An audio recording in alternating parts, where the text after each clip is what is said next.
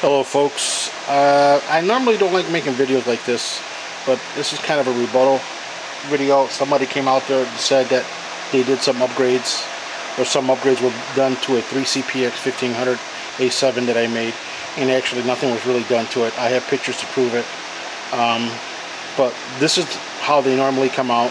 Sometimes I use the different rectifiers, but I'm using these because I got a really good price for those.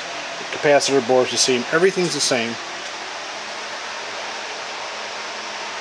One amp transformer. Um, it really isn't any difference. Maybe I might have used a smaller transformer in that one or a larger one. I'm not sure. I don't remember, but I do have pics. There's no difference.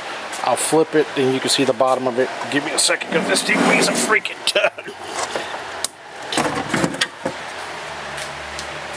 If you look, there's virtually no difference, folks. It really isn't. Um, they also said the CPX, I believe, only, I mean, yeah, the CPX only holds something like 4,000. That's too much volts for it, or 4,500.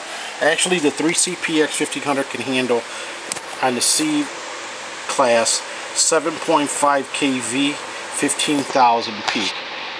That is not my information. That's CPX right from their website. I'll go down you can see it right there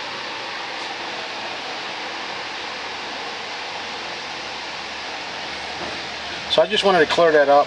Um, he only said what he was told so I don't believe um, he made this up himself. Somebody told him that but um, I just want to let you know that that was misinformation.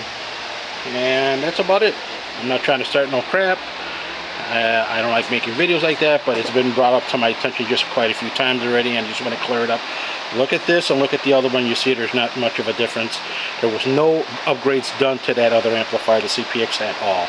It came out of my shop like that. And that's about it. 73th. Catch y'all later. Bye-bye.